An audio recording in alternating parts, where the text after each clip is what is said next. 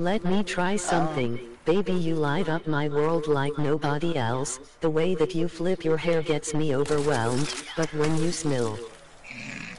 Oh my gosh. That's the funniest thing I've ever heard.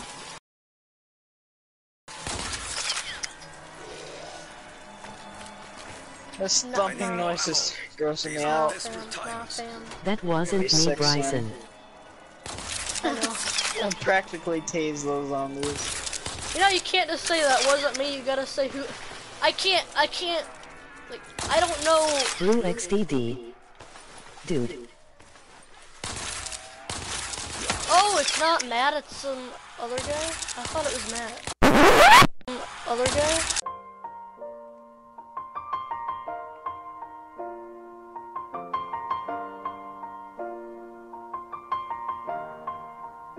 It's been a long day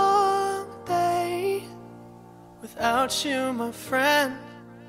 And I'll tell you all about it when I see you again.